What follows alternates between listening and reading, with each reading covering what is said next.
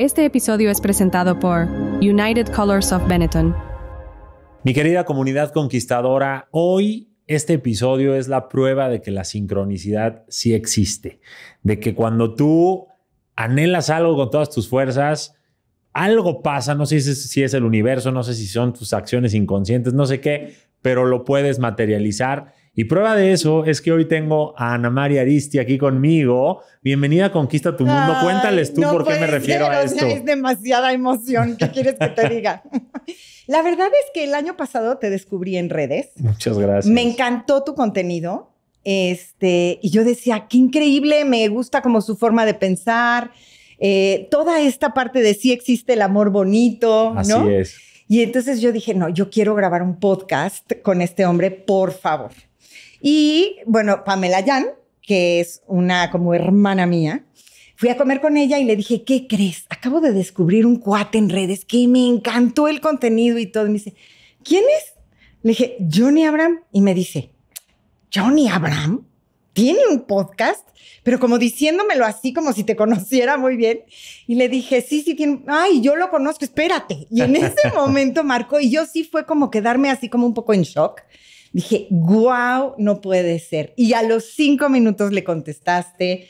O sea, fue la verdad padrísimo, ¿no? Yo dije, mira, los sueños se hacen realidad. Gracias por ese halago y quiero que sepas que es mutuo porque obviamente por más que fuera mi amiga Pamela, si yo no tuviera eh, esta contraparte que sé que le puede aportar mucho valor a la gente que nos escucha, pues a lo mejor nos hubiéramos echado un café. Exacto. Pero difícilmente un podcast. Y sin embargo, estás aquí porque tienes mucho que aportar y hoy el tema está buenísimo.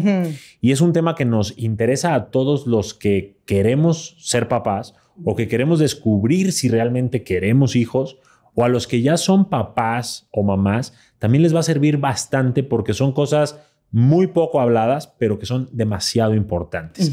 Yo, como sabes, Ana Mari, me acabo de casar y una de las preguntas más comunes en este mundo tan apresurado es, ¿ya te casaste? Y entonces, ¿para cuándo los hijos? Yo toda la vida he querido hijos, pero ahora que ya estoy ahí en el trampolín a punto de aventarme, me empiezo a cuestionar. Y por eso es que quiero platicar contigo muchas cosas, porque si yo llego a ser papá, quiero ser un buen papá. Y quiero que mis hijos, aunque tengan sus propios procesos, pues no traigan un peso que yo les haya puesto intencionalmente. Entonces, lo primero que te quiero preguntar es, ¿cómo podemos descubrir si realmente tenemos vocación de padres o de plano no? Hijo, es una pregunta maravillosa, porque la verdad es que normalmente no nos sentamos a cuestionarnos eso, Johnny. Es como, me caso porque es lo que sigue, me caso por la iglesia porque a las abuelas y a las tías eso es lo que les gusta, aunque yo no sea muy practicante y muy creyente. Te lo digo porque doy cursos prematrimoniales junto con Elena Carrillo y esa es una pregunta que hacemos.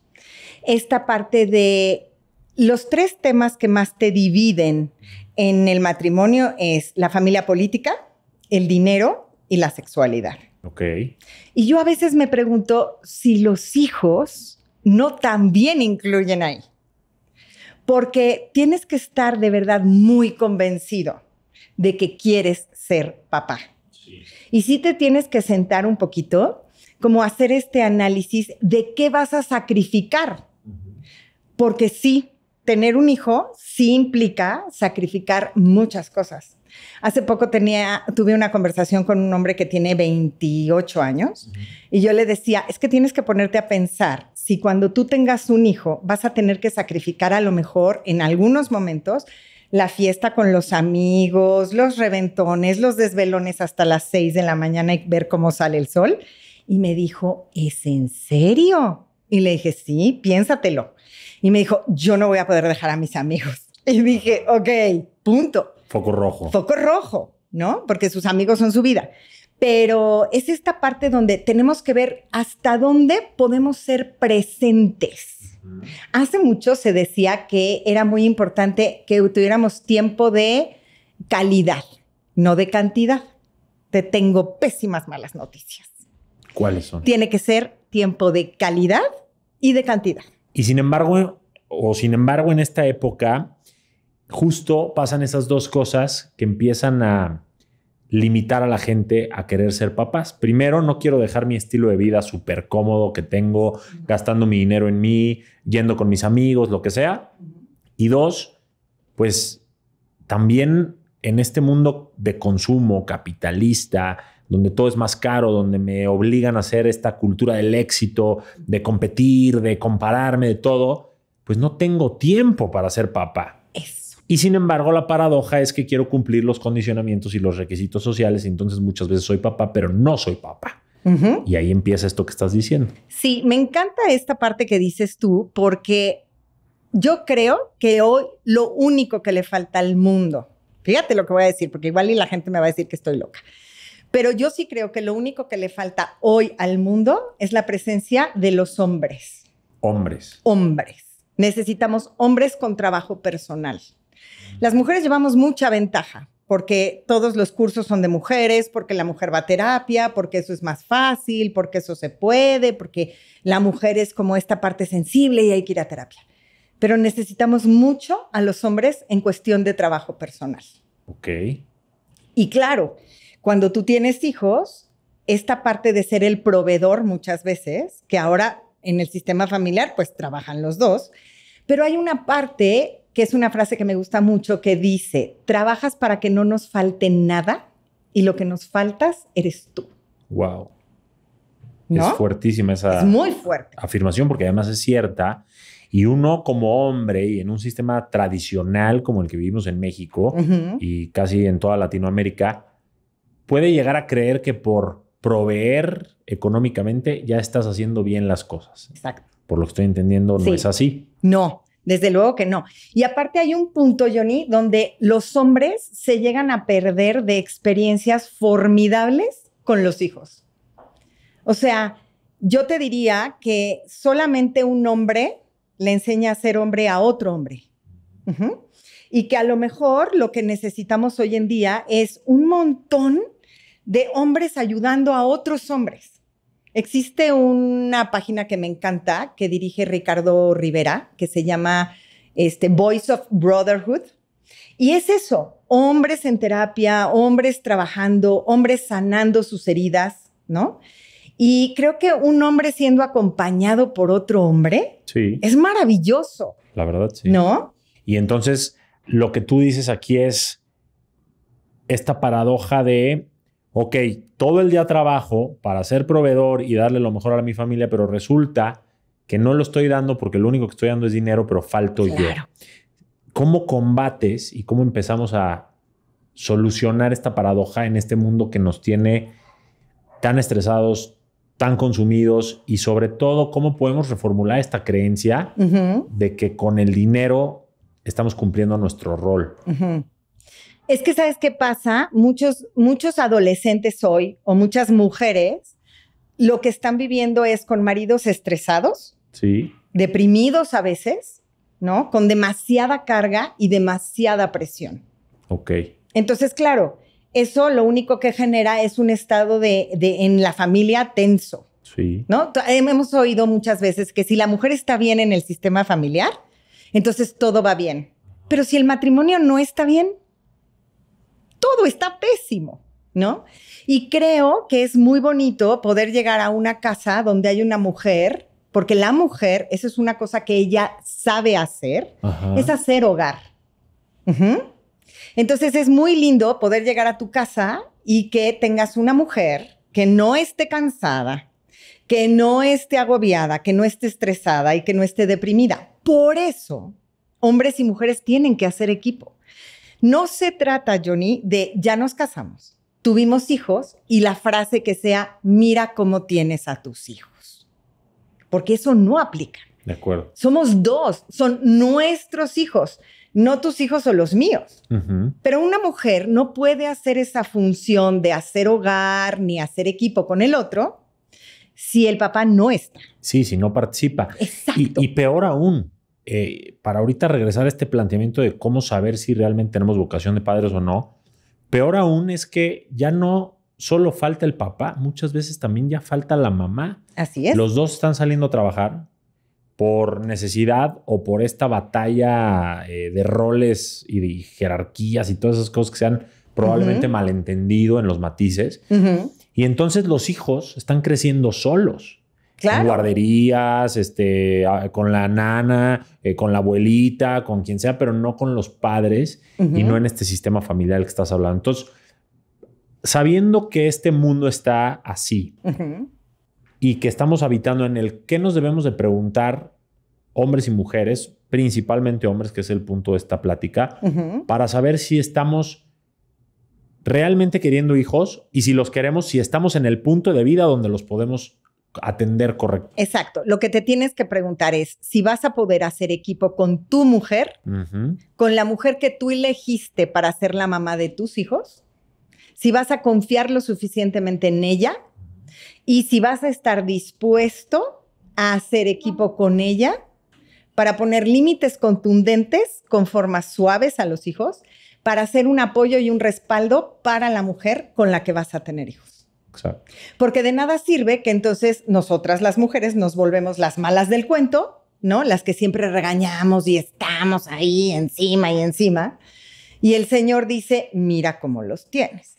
Porque entonces no aplica. No aplica. Y tampoco aplica una frase que muchos hombres llegan a decir, y digo llegan porque yo no he sido papá, pero es, te voy a ayudar con los hijos. Bueno, bueno. Pues no me estás ayudando con nada porque también son tus hijos. Claro, también son tuyos. Y tú también participas. Pero mira, no solamente es esta parte como de voy a hacer equipo y te voy a ayudar y no.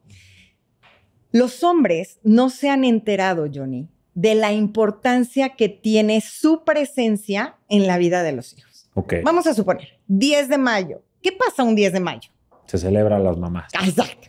Pero el 10 de mayo se paraliza la ciudad. Y tú dices, ay, no, a ver a dónde vamos, porque el restaurante, porque esto, porque todo está lleno, porque la ciudad es un caos. ¿Qué pasa el Día del Padre? Pues es domingo y está relajadito el tema, ¿no? Sí. ¿No? Sí. Y ojalá que haya fútbol. Sí. ¿No? Porque ya, para que el señor no dé guerra. ¿Sí me explicó? O sea, se le ha dado una importancia a la mamá muy grande. Yo no digo que no la tenga.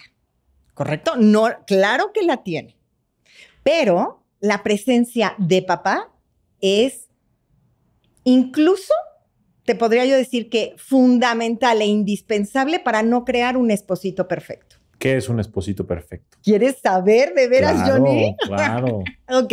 ¿Te lo puedo explicar con muñequitos? A ver, por favor, tenemos la toma. Traje a mi familia. A ver, me encanta. Está grande la familia. Está grande la familia. No, es que si yo te contara todo lo que vas a descubrir aquí. ok.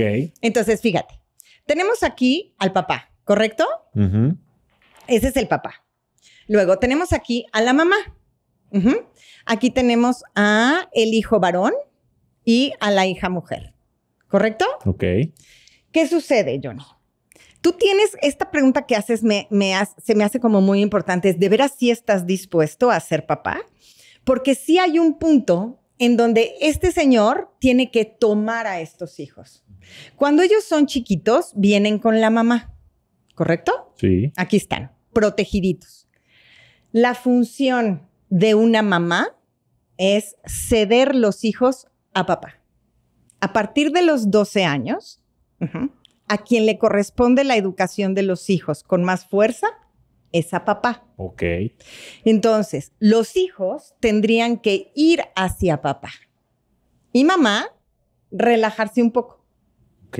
Mamá, encontrar su sentido de vida, que no solamente sea su marido y sus hijos. Claro. Y si esta mujer es una proveedora del hogar, pues hacer lo que le gusta, encontrar su pasión, generar, haciendo equipo con papá. Pero normalmente esta mujer habría que ver, y esa pregunta es importante para todas las mujeres, ¿qué tanto confías en el hombre que elegiste para ser el papá de tus hijos? Porque hay muchas mujeres que dicen, ¿yo? ¿Cederle mis hijos al papá? Porque ella los tiene protegidos como si fuera la estatua del Seguro Social. Hazte cuenta, sí, ¿no? Entonces los protege brutalmente y al Señor le dice, tú vete a generar, eres un estreñido emocional, no sabes tratar a mis pobres criaturas. Pero ahí también eh, llegamos a este tema de que no son tus hijos, son nuestros hijos. Exactamente. Entonces, ¿qué sucede? Si mamá no le cede los hijos a papá, si mamá le habla mal a los hijos de papá, que eso suele mucho, suceder. Mucho, mucho. Ellos no van a querer tomar a su papá. Claro. Es como, ¿cómo me vas a ir, hacer ir a tomar a un hombre del que tú hablas bastante mal? Claro. Si a la persona con la que yo tengo más esta relación es contigo, eres mi mamá, eres en la que creo, ¿y este señor qué? Pero si la relación no es buena, o sea, ahí volvemos al, al, otro punto. Tu relación de pareja tiene que ser muy buena para que tú decidas tener hijos. Sí, o sea, primero tienes que estar bien tú como persona. Ujú. Luego estar bien como pareja, ese trabajo también es importante para también poder estar bien en tu relación con los hijos. Me queda clarísimo Sí. lo que dices. Entonces, ¿qué sucede? No puedo cedérselos porque en la mayoría de mis cursos, Johnny, me topo con esta parte de las mujeres somos castrantes y controladoras. ¿Ustedes qué opinan? ¿Esa fue pregunta o fue afirmación? a ver, pregúntales a la audiencia. Señoras y señores, público, señores, no contesten porque pueden dormir en la tina. Y eso no nos va a venir bien. Pero señoras, porque yo se lo pregunto a la mayoría de mis alumnas y de un grupo de 100, dos me dicen que no. Que no son castrantes ni controladoras. Exacto. Solo dos. te dicen Solo que no. dos que no. ¿Y por qué las otras dicen que sí? Es que ahí te va, Johnny. Las mujeres somos castrantes y controladoras porque cuando tú tienes miedo, quieres controlar. Si este señor a ti te deja sola educando a los hijos, obviamente que te vas a volver súper controladora y vas a querer que las cosas se hagan a tu manera, como tú dices, como tú quieres, como a ti te gusta. Entonces, ¿qué sucede? Si yo no tuviera miedo, mi control bajaría y no tendría miedo porque este señor sí está haciendo equipo conmigo. Ajá. Sí se está poniendo de acuerdo conmigo, sí está haciendo acuerdos conmigo. Yo puedo confiar en este hombre para decir, encárgate. Ahora, lo que no hemos enfatizado es la mujer se encarga en los primeros años, principalmente, no es que nunca se deje de encargar. No, ¿Por qué? ¿Y por qué después pasa a ser un poquito más eh, responsabilidad del papá? ok, ahí te va. Estos hijos en un principio lo que necesitan recibir es tener la sensación de sentirse mirados, reconocidos y amados. Ok, Eso es lo que va a dar la mamá. ok. Después, los hijos necesitan irse con papá alrededor de los 12 años porque papá les va a enseñar la tolerancia a la frustración, los va a guiar hacia donde ellos quieren que vaya su vida, los va a guiar para que ellos ganen fortaleza interna, sepan poner límites y salgan a la vida para ser seres independientes. Wow, o sea, en palabras a lo mejor más eh, cortas, tú me corriges, es la mamá los llena de todo ese amor, autoestima, este, seguridad y todo, y luego el papá les enseña como un poquito cómo se van a desarrollar en este mundo que es una jungla. Así es. Ok, ok. Así es. Ok, ok. Pero ahí te va. Porque esta es la parte de la frase donde todas las mujeres me odian. Pero necesito, señoras, explicarles por qué y de dónde viene. ¿Has oído esta frase de voy a, re- voy a defender a mis hijos con uñas y dientes? Sí, ¿O voy- defenderé a mis hijos como una leona? sí. ¿Cierto? Ok. La función de mamá es ceder los hijos a papá y la función de papá es rescatar a los hijos de las garras de mamá. Respiren todos, respiren, respiren, respiren. Lo voy a explicar. Por ¿Sí? favor, antes de Porque que... ya sé que me están odiando en es, ¿cómo esa mujer puede decir eso? Sí, pero lo creo fielmente porque todo lo que yo enseño, Johnny, no es porque lo leí en un libro. Bueno, aparte de que lo leí, lo he estudiado muchísimo, pero sobre todo porque veo los resultados en terapia. Ok. ¿sí? Y sí hay que rescatar a los hijos de esta sobreprotección de mamá, de este que no te vaya a pasar nada, de este mi niño lindo. ¿Por qué hablo de un esposito perfecto? Fíjate bien. Aquí mamá está. Mamá lo que hace es que a lo mejor sobreprotege a los hijos y no deja que papá entre. O el mismo papá dice, no, mi reina, yo, tú a lo tuyo, yo a la chamba. Yo soy el proveedor, no me voy a encargar, error garrafal. Ahí, señores, si piensan tener hijos, sepan que hay que estar y hay que estar presentes y hay que echar la mano con la mujer en el sentido de que a lo mejor un hombre llega, te toma de la cintura y te dice, no te preocupes, yo me voy a encargar. Ok. Esa noche, Johnny, toca. Te lo juro que toca. ¿Sí? O sea, porque la mujer es lo que necesita. Claro, es claro. no soy yo sola educando. Somos los dos. Y ellos, los hijos, también necesitan la mejor versión de su papá. ¿Ok? Bueno. Entonces, resulta ser que si este señor no está presente, la mamá se va como a atrapar a estos niños Ok. los va a sobreproteger. Pero especialmente con el hijo varón, lo que esta mujer va a decir es, tú vas a ser mi esposito perfecto. Como tu papá no es presente, como tu papá no está, como con tu papá no se puede contar, yo te voy a enseñar a ser un hombre. Y yo te voy a enseñar cómo se hace. ¿Eso qué genera? Una carga espantosa en los hijos. Porque el hijo empieza a ocupar este lugar donde dice, yo voy a ayudar a mi mamá. Yo voy a ayudar a mi mamá que salga adelante.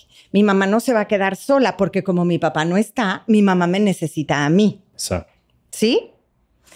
Y la hija, pues un poco también es como pobrecita de mi mamá porque mi papá no está. Y siempre es anhelar la presencia de papá. Ah, Yo sé, Johnny, yo lo sé, que muchas mujeres dicen, yo no tuve papá y yo nunca necesité a un papá. Lo sé. Y también hay mujeres que dicen, yo puedo educar sola a mis hijos. Esa es otra pregunta. ¿Podremos las mujeres educar solas a los hijos? ¿Podemos con todo? Pues yo te diría simple respuesta, pueden, no sé la calidad del resultado, ¿cierto? Muy buena tu respuesta. Ok, muchas gracias. Si una mujer se queda viuda, no le va a quedar de otra y va a tener que sacar a los hijos adelante. Si una mujer se divorcia y el papá no es presente, va a tener que sacar los hijos adelante. Yo no le cedería a mis hijos y me costaría mucho trabajo cedérselos a un hombre alcohólico, a un hombre narcisista, tal vez, a un hombre adicto o un hombre violento. Obviamente que no los vas a ceder. Mm, Pero entonces, todas aquellas mujeres que están educando hijos y están sacando sistemas familiares adelante solas, necesitan tener muchísimo cuidado para no asfixiar a los hijos y educar lo que papá podría educar que no está educando. Por eso yo insisto, no podemos solas. A ver, lo vamos a hacer. Probablemente lo hagamos muy bien. Pero a costa de qué? sí, Cansadas, estresadas, teniendo que salir a trabajar y a generar. Eh, es, uh, la verdad es que sí, muy estresadas, en muchas ocasiones muy deprimidas, Sí. muy angustiadas, y eso desgasta la relación con tus hijos. ¿Qué sería lo ideal? Tú no te casaste para tener hijos, luego divorciarte y luego entonces educarlos tú sola. claro. Ahora, ¿qué pasa si papá no está? Yo tendría que educar en mis hijos esto que a lo mejor le corresponde al Señor para que mis hijos no se enganchen conmigo. ¿De qué manera engancharse? Sí, en este sentido de cómo te lanzo a la vida y no hago que te prendas a mí y que te cueste mucho más trabajo irte. Claro, que lo vemos mucho, ¿eh? Y Johnny. en México muchísimo. Yo tengo amigos de 40 años que siguen en su casa. ¿Verdad que sí? Sí, Y tienes amigos que siguen en su casa o que están muy preocupados por la mamá. ¿O qué pasa cuando te casas con un hombre que tiene mamitis? eso, eso pasa mucho. Sí, Oye, es que no, ¿sabes qué? No, no, no. El espagueti, como lo hace mi mamá, sí. uy, no. Sí, que como, como decía una de mis invitadas, creo que fue Nildo, no me acuerdo, que sigue siendo hijo en la relación. Claro. Porque nunca soltaste esa parte de tu mamá y siempre estás comparándola, entonces eso conf- conflictúa mucho. Sí, Exacto. sí. sí. Entonces, ¿podemos solas? Sí, ¿queremos? Yo creo que no. Ahora, que a muchas veces no nos queda de otra. Exacto, esos son casos ya eh, eh, como excepcionales. Estamos tratando de hablar de las parejas de- o de las familias que hay, eh, lo- las dos personas Estén unidas o divorciadas, no pasa nada, pero que hay una figura paterna y una figura materna, ¿cierto? Así es, así es. Ahora, fíjate qué interesante este punto. Resulta que si estos hijos, que también hay esta parte de yo nunca necesité a un hombre en mi vida, cuando tú dices esa frase, solamente habla del rechazo que tuviste de la energía masculina. Ok. Entonces, mucho cuidado cuando decimos eso, porque es, no, yo nunca necesité, pero hubo otros niños que sí tuvieron papá y tú no. ¿Qué pasa? Estamos excluyendo al hombre y eso no es bueno. Ok. Yo te voy a contar una experiencia un poco fuerte. Alguna vez tuve yo una comida y en esta comida familiar yo me estaba divorciando, no la estaba pasando muy bien. Y una tía mía se acercó a mí y me dijo, yo te voy a decir que tú vas a ser feliz cuando entiendas. Y para mí era como, híjole, me van a dar la respuesta perfecta, el santo grial, ¿no? O sea, ¿qué tengo que poner de, o sea, atención ahí? Me dicen, tú no vas a ser feliz hasta que no entiendas que todos los hombres son unos pendejos. Johnny, tú no sabes lo que eso significó. Era como sacar mi celular y hacer la cuenta de cuántas horas en terapia iba yo a tener que invertir para sanar esa frase. Porque el- lo más triste fue que después de eso yo salí al mundo y me decían, ay, allá afuera no hay nada. Ajá. Ay, todos son unos pendejos. Ay, son unos cabrón. Todos son igual. Ay, todos son iguales. Entonces digo, ok, si tú vas con esa idea y esa creencia hacia afuera al mundo, ¿qué te vas a encontrar? Claro. Es como cuando buscas coche rojo.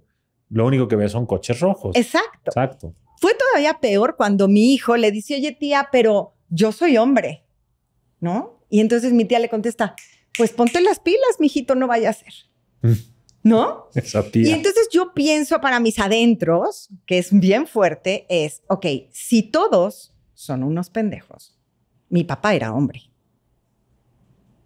Eso duele. Duele. ¿Y quién será más pendejo? ¿El pendejo o quién se casa con un pendejo? ¿Y quién lo aguanta tantos años? Claro. ¿Sí? ¿Ves qué fuerte? Sí. Pero hoy no podemos tener esta guerra, Johnny. Hoy no podemos tener esta guerra de hombres y mujeres. Mira, yo reconozco que muchas mujeres fuimos muy, o sea, que no la pasamos bien en esta parte del machismo y de que había como mucha cosa tradicional desde el lado negativo. Estoy completamente de acuerdo en eso. Pero ahora estamos dando el pendulazo, ¿eh? Sí, yo lo veo.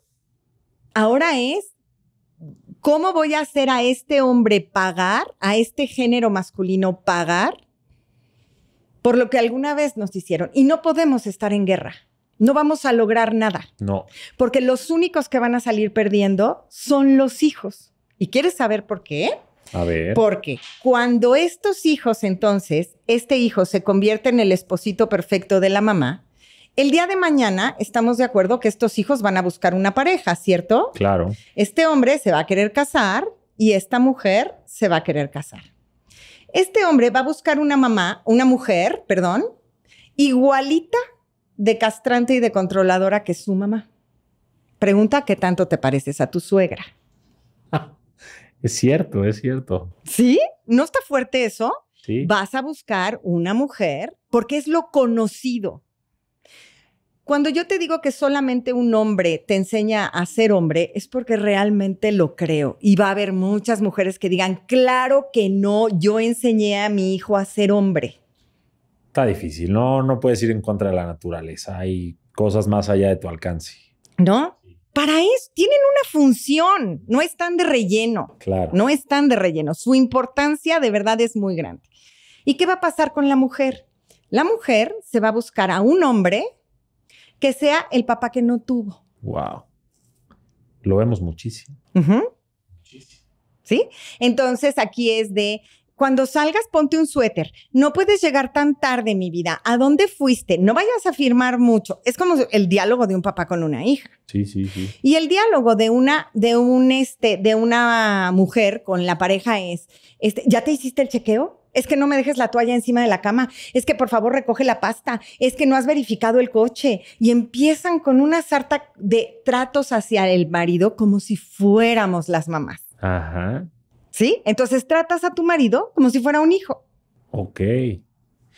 Y me imagino que también puede pasar con hijas que buscan a un papá, eh, perdón, al hijo que, que quiere lo que no tuvo en su mamá. Exacto. Tal vez. También. Y, y lo mismo con la mujer, ¿no? Así o sea, es. se va acomodando según la carencia que hubo en la parte En la parte de arriba. Que aparte, digo, si lo ponemos aquí, ya tenemos aquí al papá de este y a la mamá de este.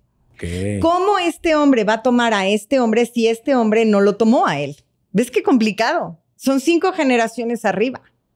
Por eso el hombre necesita mucho trabajo personal. Necesita voltear a ver su sistema, necesita sanar sus heridas, necesita de ver de dónde viene a lo mejor la agresión, la Sí. ansiedad, la violencia. Bueno, confesión aquí que ya he hecho varias veces y que hoy te lo platico a manera de confirmar esto que dices aquí. Pues es que yo hasta que no trabajé esa parte en mí, no me pude casar y no pude abordar mi relación con quien yo quería que fuera mi esposa desde el ángulo correcto. Hermoso. Sí, yo estaba batallando contra muchos fantasmas o muchos eh, traumas, patrones, como le quieras llamar, de mi sistema familiar. Así es. Entonces, fíjate qué sucede. Que esto es muy interesante. Esto afecta sexualmente, en la relación sexual. ¿Por qué? Porque este hombre no se quiere acostar con su mamá Cierto. y porque esta mujer no se quiere acostar con su papá. Porque las relaciones de pareja a veces no funcionan, porque pierdo la admiración, te conviertes en un niño chiquito, un eterno adolescente, un Peter Pan, y desde ahí no podemos hacer pareja. ¿Y qué crees? Es el perfecto pretexto para que te busques un amante. De ahí nacen los amantes. De ambos lados. Claro, Ok. porque entonces aparece otra mujer que viene siendo la amante de este, porque esta tal vez sí es más adulta que esta. Y entonces a mí me atrae la adultez de esta. Del amante sobre la esposa. Exacto. Y en el caso del hombre, como yo no quiero un papá, quiero un adulto conmigo, me consigo un amante. Porque me es mucho más atractivo que estar cuidando a un niño chiquito que está en una relación. Es cierto.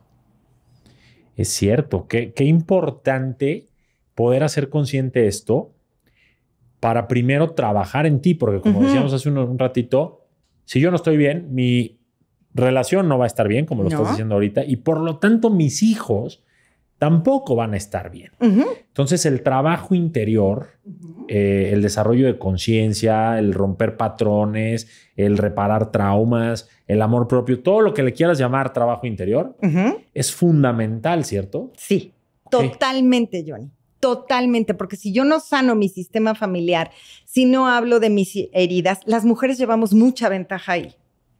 Porque normalmente estamos en cursos de conciencia, hacemos ese tipo de cosas.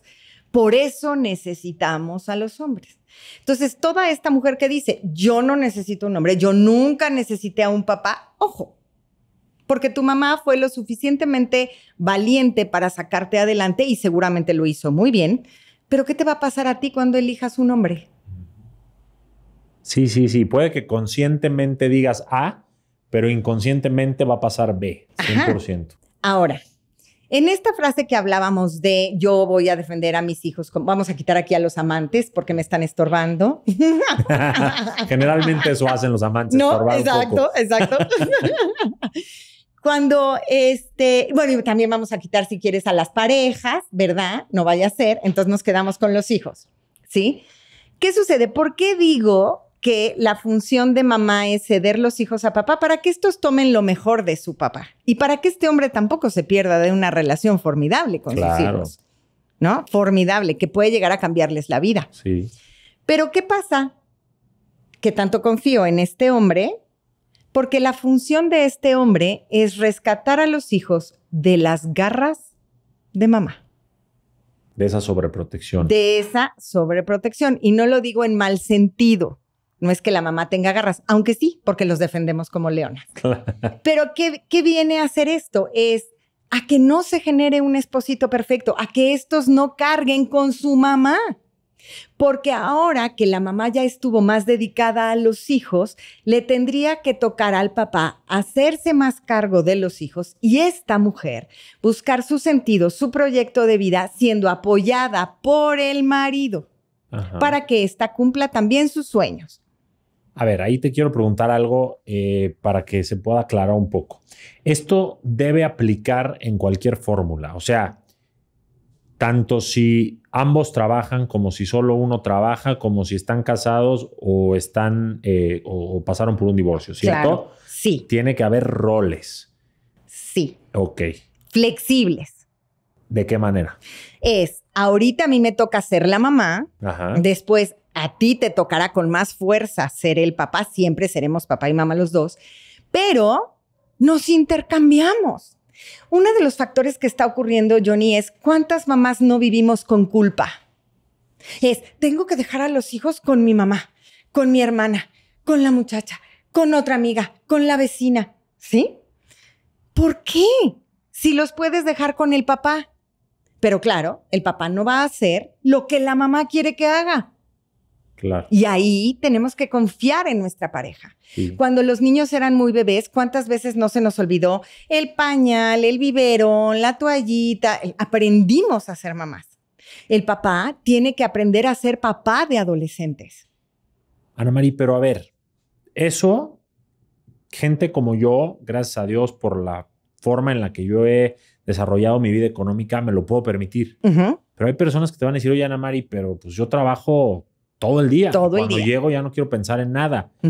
El entorno, eh, debemos de moldearlo, debemos de resignarnos. ¿Qué debemos de hacer con ese estilo de vida que hemos construido, que nos absorbe y que nos quita la oportunidad de ser padres? Ahí es donde viene tu real cuestionamiento de si vas a estar dispuesto a sacrificar ciertas cosas por tener hijos. Exacto. ahí ¿Ves qué fuerte? Porque Sí. entonces ahí tienes que medir tus prioridades. ¿Voy a querer tener una muy buena vida con mucho dinero? ¿O voy a querer educar a dos seres humanos? Que porque ahorita estoy educando a dos niños, el día de mañana estoy educando a dos adultos. Sí, y adolescentes, que son los, la edad muy complicada. Ahora, me encanta esto que dices, porque educar a adolescentes y esto que nos angustia mucho es la punta del iceberg. A, nosotros hoy nos angustia mucho es si fuma vape o no, si bebe o no, si se va de fiesta, si tiene relaciones sexuales temprano, si este, no me hace caso, tiene una mala relación conmigo, este, le hacen bullying. Pero esto solo es la punta del iceberg abajo está lo fuerte, porque los hijos solamente son el síntoma de lo que está pasando aquí. Claro. Sí, muchas veces si agarran el alcohol, si agarran el vape, si son peleoneros, si son bullying y todo, es el reflejo de cómo fueron cuidados, educados, atendidos o desatendidos. Sí, totalmente. Así es. Si estos niños tienen un papá deprimido, pues la mamá lo va a resentir y obviamente se va a ver aquí. ¿Por qué hay tanto niño ahora que se está cortando o que se está automutilando? El cutting, ¿no? Que se habla mucho. Es porque hay algo aquí no resuelto. Ellos me están dando la información de lo que yo tengo que resolver aquí. Wow. Pero ¿qué, qué estamos encontrándonos hoy? Muchos hombres que lo que dicen es, yo no voy a ir a terapia. No, no. Eso es para mujeres. Yo no necesito. Yo estoy bien. Y no. Todos tenemos heridas. Ya las mujeres hemos trabajado mucho. Es como, te lo juro que me dan ganas así como de, bueno, nos vamos a sentar a pasar un día agradable en lo que papá va a terapia, ¿no? ¿No? Sí. para después entonces poder sí hacer equipo y tener hijos desde ahí. Yo aquí quiero como recalcar y que tú me ayudes si por algo se me va alguna cosa, que entonces para decidir antes que nada si quieres emprender un proyecto de vida en familia, o sea, hijos, tienes que decidir, número uno, si quieres hacer trabajo interior Sí, o si te vas a ir de re- irresponsable toda tu vida con tus heridas y traumas y dolores y demás, sí. y que lo hagas. Dos, si vas a poder adaptar tu ritmo de vida a ser un papá o mamá presente en eh, el- cada etapa de tu hijo. No nada más un proveedor, no nada más este, alguien que firma las boletas de la escuela, no, alguien presente que, que, juegue con ellos, que les dé consejos, que los contenga, que todo esto. Tiempo en cantidad y calidad, ¿no? Y la otra sería que estés comprometido a trabajar en equipo con tu pareja y trabajar la relación todos los días, porque de lo contrario, todo va a estar mal. Si la cabeza está mal, generalmente el cuerpo también está mal. Hiciste un resumen perfecto. Ok, me encanta porque entonces quiere decir que estamos Fue un resumen entendiendo. perfecto. Mil gracias y sobre todo para que la gente vea Sí. que no es tan complicado. Eh, y, y aparte esta forma de ilustrar lo que tienes me fascina porque se va entendiendo muy bien. Y entonces supongamos que, bueno, ya quiero tener hijos, ya entendí que tengo que estar presente. ¿Cómo puedo yo eh, en- educar a estos hijos o, o- o- o- o estar muy presente en ellos, pero sin influenciarlos a ser como yo quiero que sean, sino como Mm. desarrollar su verdadero potencial? No sé si fui claro. Sí. Es que claro, muchas veces queremos vivir la vida, nuestra vida a través de nuestros hijos. Entonces yo te digo, ¿qué tienes que hacer? ¿Cómo tienes que hacerlo? Porque yo creo que eso es lo mejor. Y no. A los hijos hay que educarlos con preguntas, no con consejos. Es, te llevo a preguntas donde haya reflexión, tú encuentres tus propias respuestas y es lo que a ti te sirve, no que a mí me sirve. Wow. Y ahí, Johnny, se necesita muchísimo trabajo personal, porque entonces sí quiere decir es confío en ti, toma la decisión mejor para ti. Si te equivocas, aquí voy a estar. Yo te cacho y te acompaño, pero yo no te voy a decir qué tienes que hacer en esta vida. Sentémonos, platiquemos, filosofemos, que son las pláticas que hoy más que nunca los adolescentes necesitan. Yo te ayudo si quieres a tomar una decisión, pero tú tienes que cuestionarlos. a desarrollo de conciencia desde chiquitos, a través de estas preguntas, pláticas, exploración de ellos mismos. Así es. Y te voy a decir algo, los mejores papás y las mejores mamás son las que lo dejan de ser lo más pronto posible. Me- a mí me quedó clarísimo, pero para que entiendan, Sí. no es me desentiendo, No. entonces soy un gran papá, es No, no, no. no. los eduqué también que ya son independientes, podríamos decir la palabra independiente, ok, ya son independientes y entonces yo ya puedo dar un paso atrás, ¿cierto? Exacto. Y yo nada más te voy guiando desde atrás. Pero no te digo qué tienes que hacer, cómo te, te sobreprotejo tampoco. Por eso necesitamos a papá para lanzarlos a la vida. Mamá puede hacerlo también. No lo dudo, Johnny. A ver, debe de haber miles de mujeres. A ver, el 70% de las familias mexicanas están lideradas por mujeres. Sí. O sea, es, es fuerte la fuerza de la mujer. Las mujeres no somos débiles. O sea, esta parte de que hay que debilidad, no, no, No. O sea, perdónenme, pero las mujeres tenemos una fuerza maravillosa que crea magia. Entonces, claro, si yo lo que puedo hacer es decir, yo te educo, te, sa- te saco adelante, hago que te hagas responsable, yo siempre voy a ser tu mamá pero voy a dejar que te caigas el número de veces suficiente para que madures, para que crezcas. Porque hay una frase que también me gusta mucho que dice, todo sirve para aprender. Sí. Si tú te equivocas, no digas, ya lo sabía. Ay, te lo dije. Es que era obvio, mijito, obvio. ¿No? No, es recapacita con él, siéntate, platícalo. di- A ver, mi vida, ¿qué pasó aquí? ¿Qué fue? ¿Qué, te- qué hubieras hecho diferente? ¿Qué aprendiste de esto? Sí, muchas veces los eh, subestimamos, ¿no? Como que sentimos que son niñitos que no entienden, que no pueden resolver. Y yo también he pasado por ahí, veo a mis sobrinos y sobrinas eh, ahora y veo que se acercan a la orilla de la alberca y me muero de miedo, ¿no? Y se avientan mejor clavado que yo. O que están jugando en no sé dónde, que yo veo peligros y ellos están felices. Y me empieza a dar una ansiedad tener hijos, como decir, ay, son tantos los peligros, Sí. ¿no? Y luego imaginármelos en el antro y que vivan todo lo que yo viví No, bueno. y, y- y la noche y las drogas y... Pero al final te iba a preguntar eso, cómo bajarle a las ansiedades, pero me lo resolviste ahí, que es si estás pegado a ellos, si estás presente con ellos, sin sobreprotegerlos, y si logras crear hijos fuertes, esas ansiedades van a disminuir porque vas a darte cuenta que ellos pueden. Claro. Y mira, la relación es más importante que la norma. Eso es muy importante. Un adolescente puede obedecerte y hacer lo que tú quieres porque te admira. Pero si yo todo el tiempo lo enjuicio, todo el tiempo lo critico, todo el tiempo le estoy diciendo cómo, cuándo y a qué horas tiene que hacer las cosas, es muy difícil. Sí. ¿No? Hay adolescentes que yo recibo en el consultorio ya adolescentes más o menos 18, 19 y me dicen, es que con mis papás no se puede, porque no se puede dialogar. O sea, solamente me dicen lo que tengo que hacer. Sí. Y ahí no se me antoja dialogar, no se me antoja platicar. Eh, papás autoritarios. ¿no? Ándale. Pero ¿cuál es la línea delgada entre ser autoritario y ser ese best friend que no marca límites? ¿Dónde, dónde se ve ese matiz? Sí, a ver, best friend no puede ser. Ok. En el momento en el que tú te conviertes en el amigo de tus hijos, lo dejas sin papá y sin mamá. Ok. Eres un amigo más. Y los adolescentes lo que necesitan son límites contundentes con formas suaves. Tu trabajo personal es aprender, tanto papá como mamá, a dialogar, a poner límites, a saber escuchar al otro, a estar presente. Esos son como puntos que tendríamos que tener en trabajo personal. Y eso empieza en la pareja, Johnny. 100%. Sí. Entonces yo me convierto en el amigo, ya, ya perdí. Ya perdí. Si pasas en ese sistema familiar a estar fuera de ahí. Completamente. Claro. Los dejas sin papá y sin mamá. Ellos necesitan alguien que guíe el timón del barco. Ok.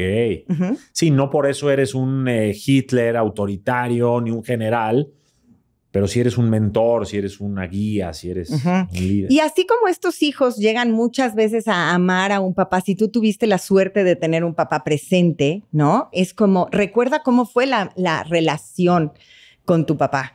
Porque aparte aquí hay que tener mucho cuidado. Esta mujer también se puede convertir en la esposita perfecta de este señor, ¿eh? A ver, ejemplifícanos porque quedó muy claro el esposito. El Vamos a hablar de la esposito perfecto, claro. ¿Cómo sería? Pero la esposita es cuando este matrimonio no está bien, esta mujer, la chiquita, la niña chiquita, se puede juntar con el papá y hacer una triada en contra de la mamá. Y esta niñita decir, este hombre es mío. Y el típico de, tú y yo nos vamos adelante en el coche, ¿verdad, papi? Yo tuve una mamá, una paciente, que me contó que su hija le dijo, solamente estoy esperando a que mi mamá se muera para casarme contigo. Esta chiquitita a su papá. ¿No? Y al principio puede parecer como, ay, qué lindo, ay, mira, es mi novia, ay, sí, es que mi papá, y tú eres mi princesa, ¿no? Pero la princesa es la mamá. La reina es la mamá. La mamá no puede perder, como pareja no podemos perder este lugar. Mi prioridad es mi marido y mi prioridad es mi esposa. 100%. ¿Y qué sucede? Ah, no, pues mi prioridad empiezan a ser los hijos, porque esta mujer está muy histérica y porque este hombre grita todo el día. Oye, ¿qué pasa cuando la pareja estaba bien. Y por los hijos que ahorita dijiste que se vuelven tu prioridad, se dejan de ver la pareja, dejan de cosechar esa plantita y dejan de trabajar en eso y entonces se pierden como pareja y acaban divorciándose, peleándose, lo que sea, porque se dedicaron a ser padres, pero no pareja, Lo que va a ocurrir es que estos dos se van a desequilibrar. los hijos. Los hijos se desequilibran y de ahí viene el síntoma de lo que está pasando aquí. Lo- ellos siempre tienen que mirarse uno al otro y entre los dos mirar a los hijos. Y entonces la gente me dice, ¿y en qué mundo se da eso? Parece que estás hablando de un cuento de hadas.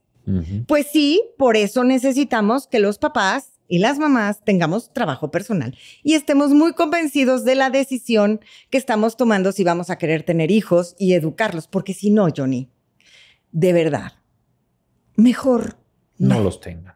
Es más honorable decidir no tener hijos que tener hijos que, y no cuidarlos o caer en todo esto que estamos hablando. Totalmente, porque el sufrimiento que estos niños viven y experimentan es durísimo. Sí. La carga de tener que hacerse responsable de una mamá o de un papá es muy fuerte.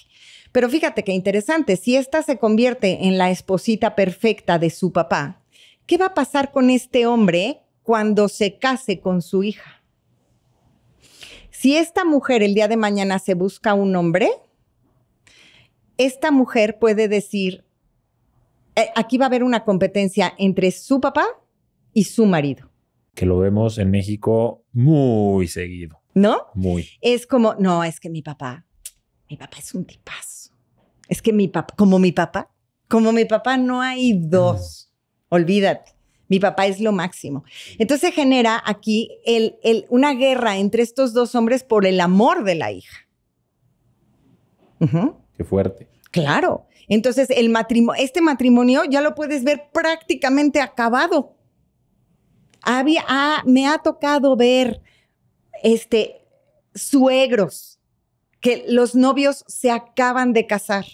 Después de tomar el curso prematrimonial, alguna vez nos llevó una pareja donde él llegó a terapia a decir, oye, es que mi suegro pues, llegó y le regaló a mi esposa una foto de mi suegro y ella el día de la boda y llegó a colgarla en una pared enorme en la sala.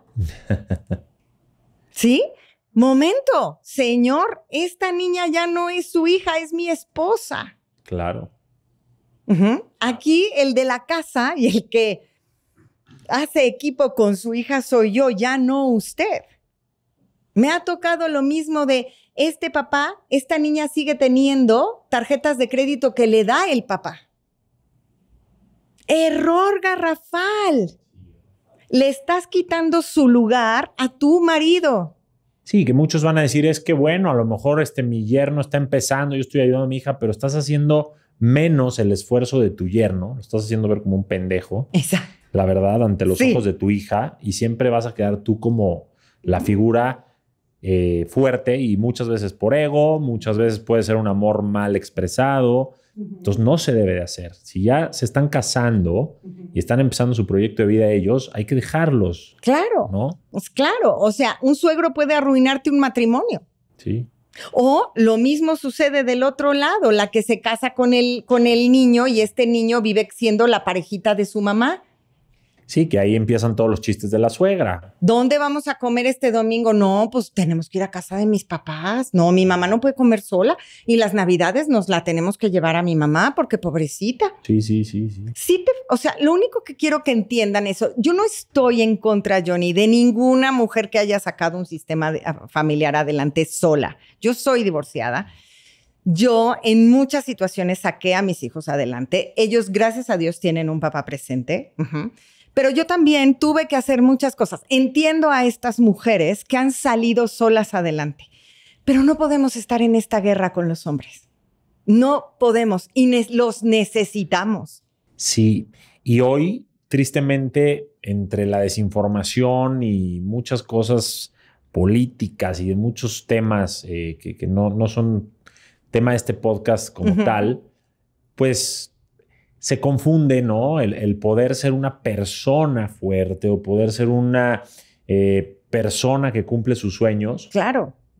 Con no quiero hijos o entonces no necesito a un hombre o este, yo soy más que tú. No. No, porque al final, si tu proyecto es individual de vida, va, haz lo que quieras. Pero si ya te vas a meter a una pareja, hijos, lo que sea, no puedes ser tan egocéntrica o egocéntrico. No. Necesitas trabajar en equipo. Claro. ¿Cuántas veces, por ejemplo, has oído a los hombres en una junta de negocios que digan, ya me voy a la casa porque qué culpa, ya dejé a los niños mucho tiempo solos? A veces sí, a veces sí. Aquí mi querido productor este ya, no lo voy a poder volver a regañar por tu culpa, no se te ocurra. ¿Eh? No, se te ocurra. Porque entonces estamos hablando de que sí hay un papá presente. Correcto. Es no, Johnny, sabes una cosa, espérate, yo ya me voy, yo le tengo que ir a echar la mano a mi mujer porque ella ya estuvo todo el día y ella también trabaja y yo ahora tengo que llegar a bañar al bebé o tengo que llegar a, ponerle en orden al, al adolescente. Sí. Discúlpame, porque ya no lo vuelvo a hacer. Este, lo veo en él, lo veo en mi cuñado, eh, que, tiene dos, a mis dos sobrinas, lo veo en mi hermano que tiene hijos. Sí están, sí son papás presentes. Hermoso. Mi papá todavía, la vida lo fue. Era lo que yo te iba a preguntar. si tú tenías un papá presente. Toda la vida. Eh, él, él hasta la fecha nos dice algo como en las navidades y así me dice, no le compren tantos juguetes a sus hijos. El, el mejor juguete que pueden tener son ustedes. Sí. Jueguen con ellos, platiquen Sí. con ellos, diviértanse con ellos. Dile a tu papá que lo admiro muchísimo, que es verdad todo lo que está diciendo. Sí, la verdad, mis papás, yo no tengo nada más que agradecimiento. Claro que yo me identifico con muchas de las cosas que dices, sí, porque somos seres humanos. Y he caído en esos supuestos, como muchos, y, y he visto en cosas que has mencionado, cosas que me quedan a mí y que yo tuve que trabajar para poderme casar desde Claro. el ángulo correcto con Karen. Claro. Eh, pero al final no son sentencias, o sea, que tu papá o tu mamá se equivoquen, eh, no son cosas que tú tengas que ya vivir con eso toda tu vida, lo puedes trabajar, ¿no? claro. Porque, a ver, pensemos en que esas, esos hijos que pones ahí en, en- en el sistema familiar no tuvieron los mejores papás respecto a Venga, pareja o presencia. venga. No están sentenciados a vivir No. infelices ni a tener No. malas parejas. No, por supuesto que no. ¿Qué pasa a ese nivel? Ok, la mamá, vamos a suponer, este papá ya no está, el sistema familiar no está acá, nada más tengo a la mamá con los dos hijos. O la mamá viuda también, o divorciada sin un papá presente.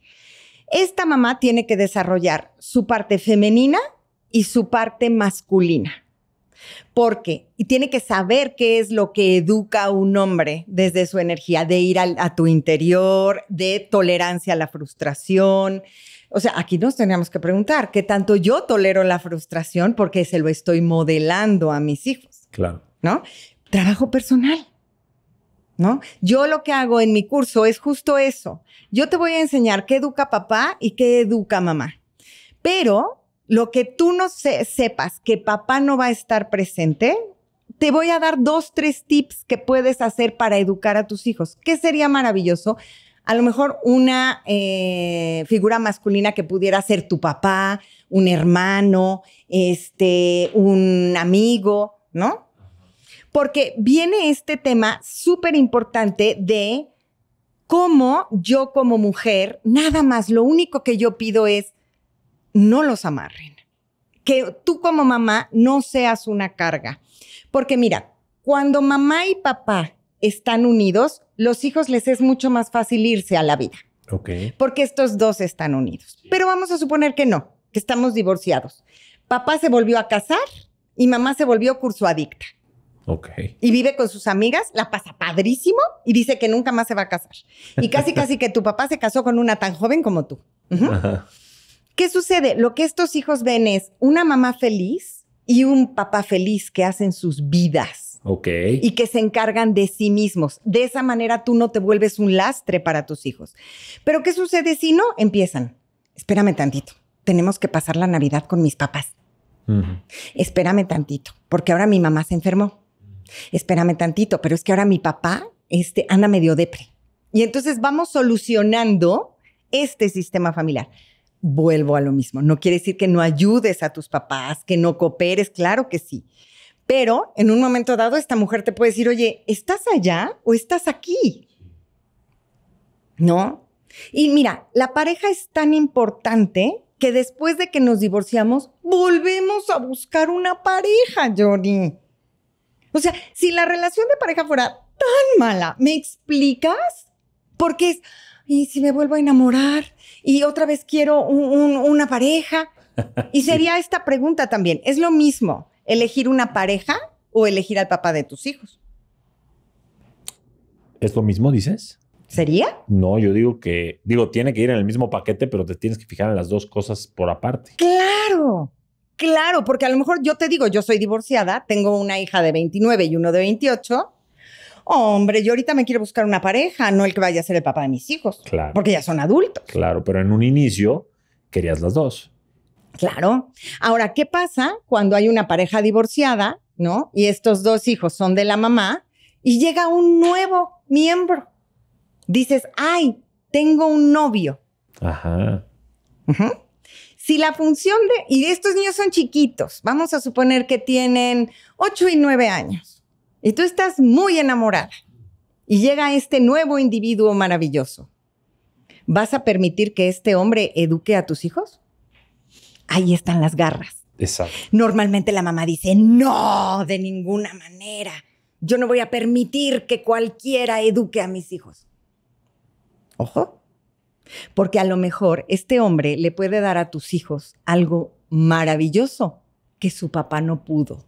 Claro, ahí dependerá mucho a quién elijas como pareja. Claro.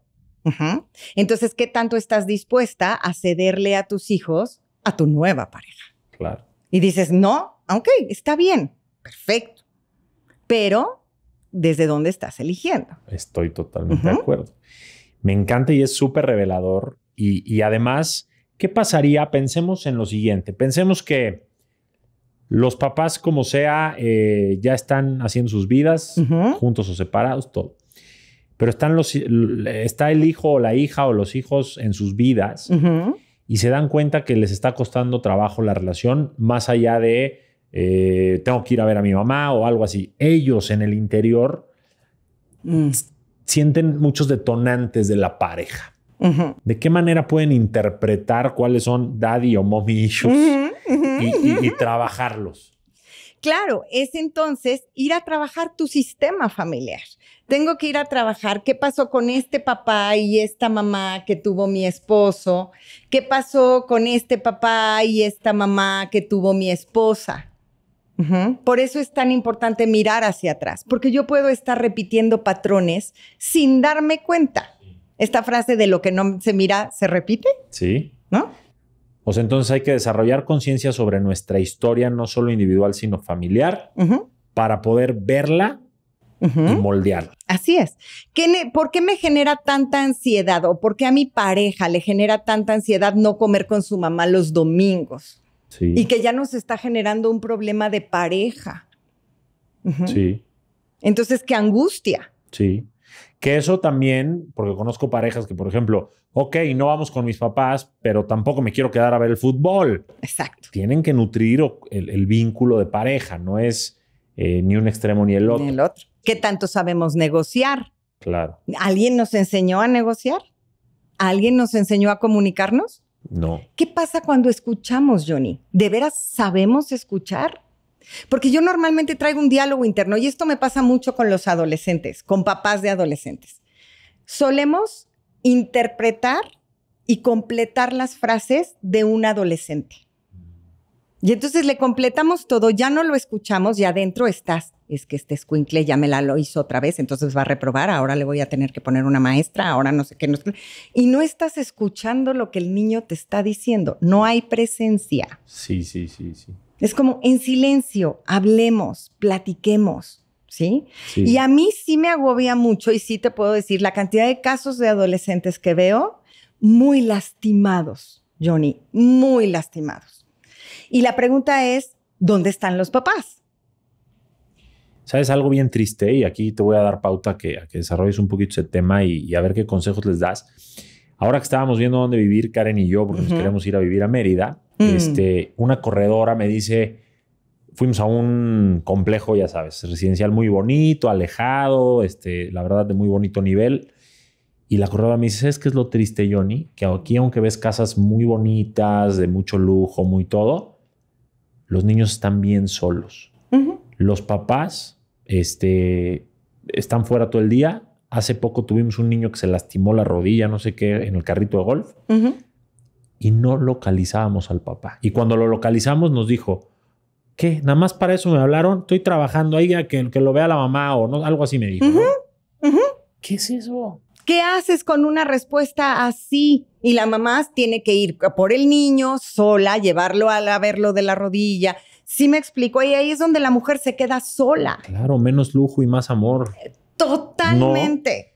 Una buena conversación con tus hijos vale más que cualquier juguete, cualquier patineta que casi casi va sola. No, los, los hijos necesitamos llenar el tanque emocional de los adolescentes. Y el tanque emocional de los adolescentes, Johnny, se llena con mirada directa, atención concentrada y contacto físico. Parecería época de las cavernas, ¿no? Algo tan sencillo. Mirada directa, atención concentrada y contacto físico. Te miro, te pongo atención, no tengo ningún distractor y te demuestro con mis acciones que tú eres la persona más importante para mí en este momento. Ok. Con eso, al adolescente lo tienes enganchado. Pero ¿qué pasa? Tú quieres que el adolescente te diga cómo le fue en la escuela a las dos y media de la tarde que lo recoges después de dos horas de álgebra. Sí. O que se echó el partido de fútbol. Él no quiere hablar. La mejor hora para hablar con un adolescente es a las 8 de la noche, cuando ya se va a dormir, cuando tú estás más cansado y cuando vas a tener que poner toda tu energía en esta personita. Y que aunque pongas toda la energía, que se sienta algo casual y agradable y amable, ¿no? Porque cuando llega la mamá a pedirte una especie de reporte, ¿Qué tal? ay, no, es que es una flojera, sí. ¿Y cómo te fue? ¿Y qué? Y no sé qué, pues como que tiene que ser mucho más amigable, sin ser el best friend, Claro. pero que, que sea como una plática como la que tendrías con alguien así que salió la plática, ¿no? Sí, Me sí. imagino, no Tiene que haber hijos. mucha risa con los hijos. Tiene que haber muchas bromas. Ellos tienen que sentir que papá y mamá están ahí para ellos, no 24/7, porque Claro. tenemos que generar, yo también, a ver, estoy de acuerdo, yo trabajo. Yo cuando mis hijos tenían a lo mejor como, ¿qué sería? 12 y 13, los senté y les dije, chavos, me tienen que echar la mano porque voy a empezar a trabajar y voy a empezar a trabajar fuerte, Sí, ¿sí? Porque se necesita. claro. Ujú. Ana Mari, ¿qué papel juega el perdón en el sistema familiar? Uf. ¿Cuál es su relevancia? Porque para mí creo que es muy importante, ¿verdad? Fíjate que el perdón es de lo más importante. Mientras tú no te reconcilies con papá y mamá, no vas a poder tener una pareja. Porque vas a buscarte a alguien en donde quieras terminar de trabajar lo que no trabajaste con papá y con mamá. Siempre está ahí. Es un asunto no resuelto. Y que se refleja no solo en las parejas, también a veces en los jefes. Ah, claro. En si ganas dinero o no. Exacto. si ganas dinero o no, tiene todo que ver con el sistema familiar, tiene que ver qué tan cariñoso o no cariñoso eres, tiene que ver en qué tan presente o no presente eres. El perdón es indispensable y es esta frase tan linda que es como, te pido que veas con buenos ojos que yo lo haga diferente, ¿no? Porque muchas veces sentimos que traicionamos al sistema familiar cuando lo hacemos distinto. Y fíjate qué curioso, porque tú dices, ay, para crecer hay que traicionar al sistema familiar, ¿no? Si tú lo dices desde ti, dices, ay, sí, yo sí traiciono y sí, yo no importa porque yo quiero mis nuevas ideas. Pero que tus hijos te digan, ¿no? Yo no voy a hacer las cosas como tú. A los papás nos duele.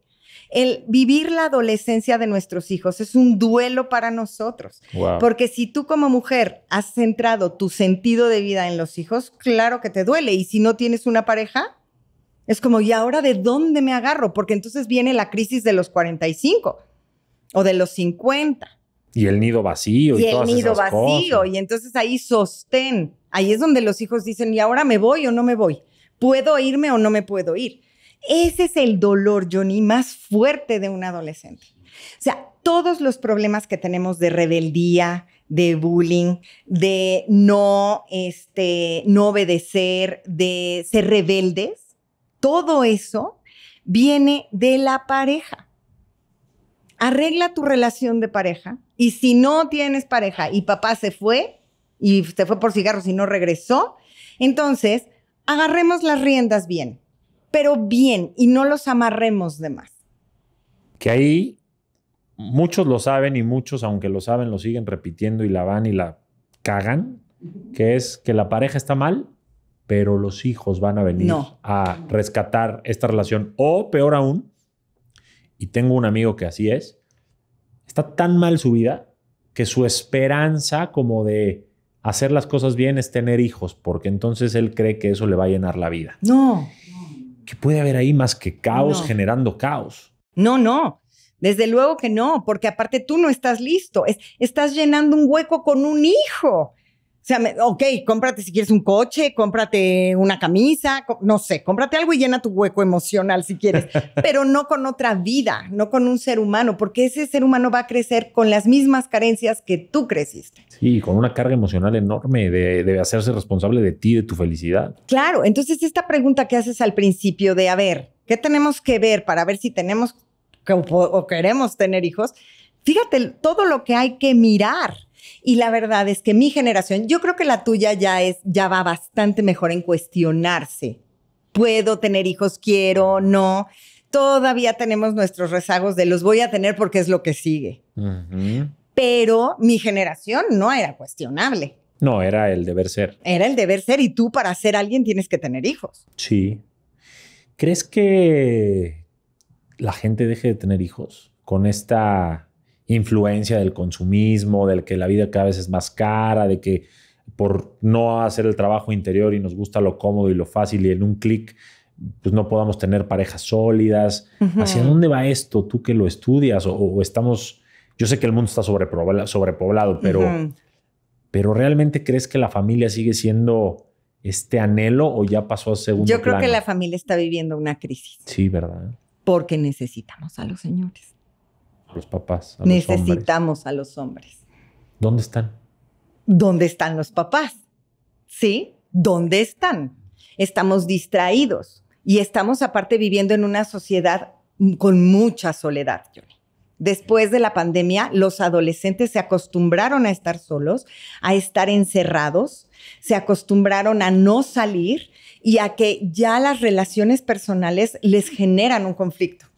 Otros se encerraron tanto tiempo que sienten que el tiempo pasó muy rápido, entonces salir nuevamente al mundo les está costando mucho trabajo. Y hoy por hoy es como, tengo que generar, generar, generar para que a estos niños no les falte nada. Los adolescentes tienen demasiado, Johnny Ay, sí. demasiado. Sí, yo soy testigo de chavos con coches, tarjetas de crédito ilimitadas. Este, a ver, educar con dinero cuesta mucho más trabajo que educar cuando no lo hay. Porque cuando no lo hay, generas en el adolescente esta necesidad de creatividad y generas esta necesidad de tengo que conseguir eso. Quiero metas, quiero sueños, quiero que el universo conspire. Ujú. Confirmo. Ah, ya me lo dieron todo. Todo, Sí. todo. Entonces caigo en una depresión y a todos los niveles, ¿eh, Johnny? A todos, porque puede haber mujeres que trabajen de verdad y se partan el lomo completamente por quitarse el, el bocado para dárselo al niño, pero aparte del bocado le dan el último celular que dices, ¿de dónde salió? El tenis que cuesta una fortuna. Que tu hijo quiere un tenis que cuesta una fortuna, que vea cómo genera para comprarse el tenis que cuesta una fortuna. No se lo des tú. Le estás quitando la sensación de logro. Sí, ahí yo te lo, te lo confirmo en lo individual y, y también este, con mi esposa y, y mis hermanos te dirían lo mismo, porque si bien no nos faltó nada, tampoco es que tuvimos así a borbotones lo material y eso nos hacía divertirnos con un palo, este, Claro. con una bici entre todos, a compartir la, la única computadora que había, muchas cosas, ¿no? Hacer un collarcito de rebelde, ¿no? Eh, muy bien, exacto, hacer collares. ¿O no? Exacto. Esa historia me fascinó, me encantó y nos metimos en una bronca y luego que si no y que si ahora abogados y que cómo le hacemos. Mira, O sea, es que eso, Johnny, teníamos eso hambre, teníamos creatividad, teníamos te lo ganas. genera. Y el problema ahora, bendito Dios, pues yo he trabajado, mis hermanos han trabajado y nos cuestionamos, Karen y yo, cómo vamos a educar, porque claro que queremos vivir bonito. Sí. Entonces queremos vivir bonito sin sacrificar a nuestros hijos ni matarles todo esto que estamos hablando de la creatividad, el hambre, la ilusión. Y, y, pues aquí un amigo judío, que ellos ya sabes que tienen una cultura muy padre y una relación muy bonita con el dinero, este, digo, hay sus excepciones, Sí. pero la mayoría de las veces son muy bisneros y se ayudan entre ellos y así. Me dijo, mira, Johnny, yo a mis hijos les digo, a ti no te va a faltar nada, pero una vez que empieces tu vida productiva, estás tú y tienes que ir tú. Ujú. Eh, yo me voy a gastar mi dinero en mí y, y no esperes herencias y no esperes nada porque ese es el dinero que yo trabajé y me lo voy a gastar con tu mamá.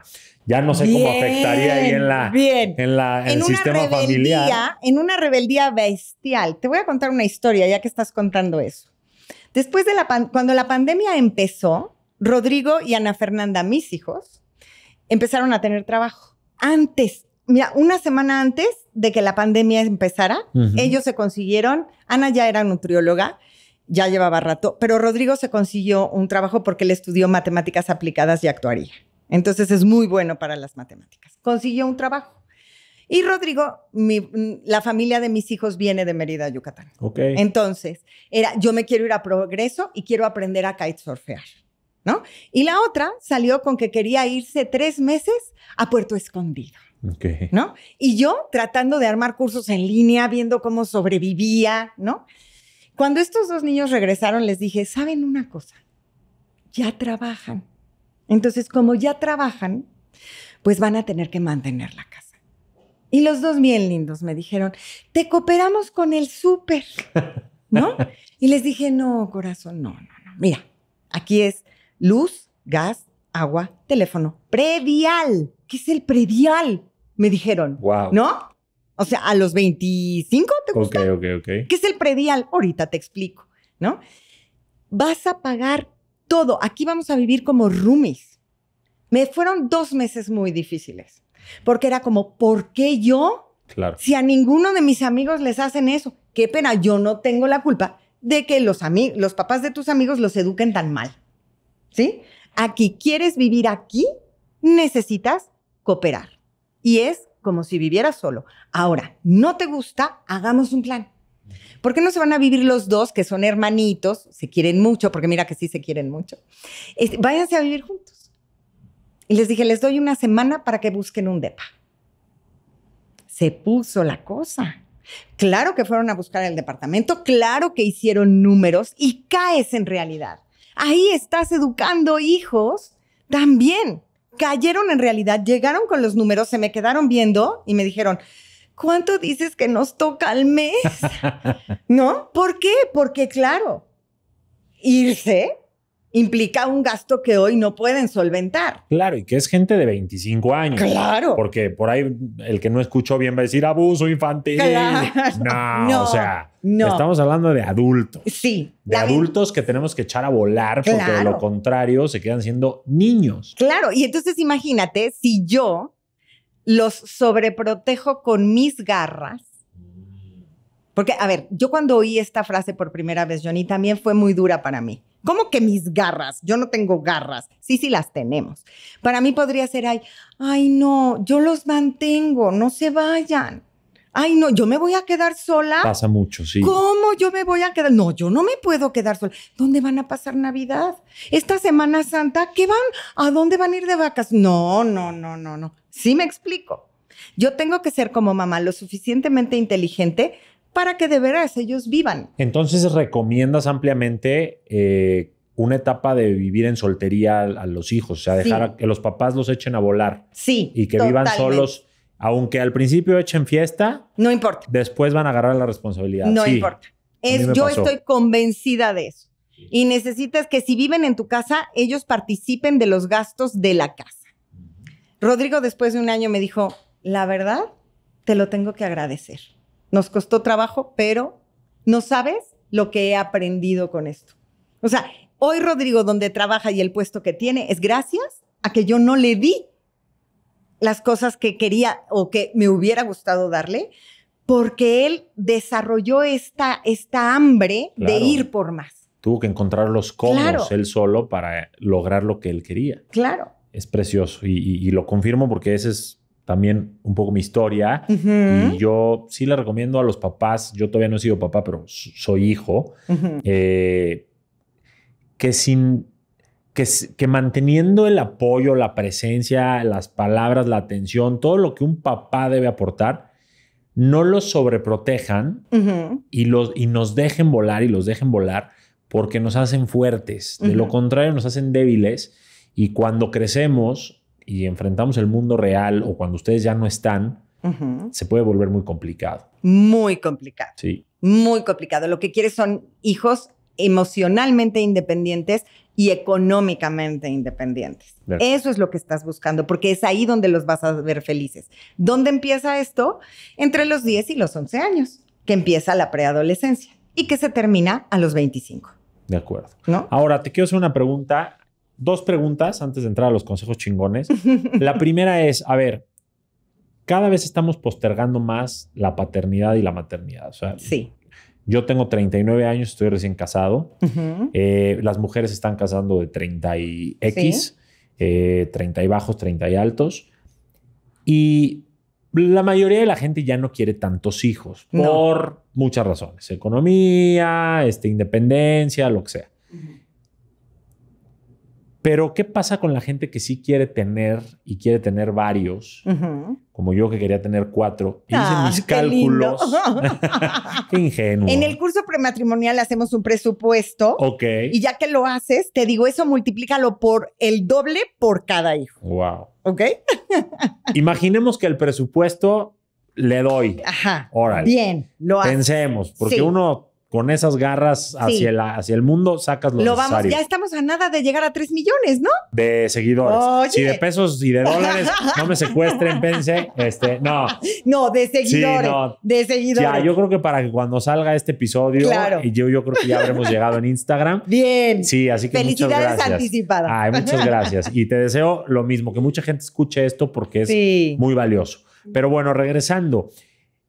Ah, Yo hice mis cuentas. Y el cuarto hijo, obviamente, llámale ansiedad, llámale imaginación, pero dije, cuando mi cuarto hijo Ah, tenga 20 sí. años, yo voy a tener 70 y altos. Ay, Johnny. Y, y ya no sé si voy a ser un papá tan presente. Ay, Johnny. Y ahí pues fue triste enterarme yo solito de que a lo mejor no voy a tener los cuatro que siempre soñé, pero creo que también es bonito enterarte de, y más con esto, de que los dos o tres que tengas o los que Dios te dé también, porque no sabemos, pues sí los voy a poder proteger, cuidar, eh, educar y, y amar de esta manera. Si me dejas eh, decirte, fue muy nutritivo todo lo que hablamos hasta ahorita, que todavía nos queda un pedacito, porque entonces confirmo que sí quiero ser papá, que sí puedo ser papá Qué a belleza. este nivel y que trataré de adaptar todo lo que tenga que ser para esto y ya no eh, tantas ideas que podemos tener sin una explicación tan clara como las que nos diste, así que te lo agradezco mucho. Johnny, Y no, quiero hombre. saber si a ustedes les está gustando, porque todavía nos queda la recta final de los consejos chingones y demás. Eh, si sí, por favor, coméntenos qué se están quedando, eh, qué fue lo que más les gustó, con qué se identificaron ustedes en su historia, con qué identifican a sus hijos y que obviamente le den me gusta y, y que compartan este episodio para que nos ayuden a Ana Mari y a mí a tocar más vidas porque pues es la forma que tenemos muy simple de eh, ayudar a personas que tal vez lo necesiten a Sí. descifrar y a conquistar sus propios mundos. Sí, a mí me da mucho gusto porque cuando tengas hijos adolescentes ya no me vas a necesitar buscar. No te aseguro nada, necesito tu teléfono en mis contactos frecuentes, Exacto. pero seguramente que llegaré mucho Sí, más preparado por todo este trabajo de conciencia que hacemos. Sí, la verdad que sí. Sí. Yo, mi única intención con esto es que podamos ver algunas partes en donde de nosotros depende. Muchas veces quieren mandarte al adolescente a terapia. Ese no es, esa no es la solución. No gasten su dinero, de verdad.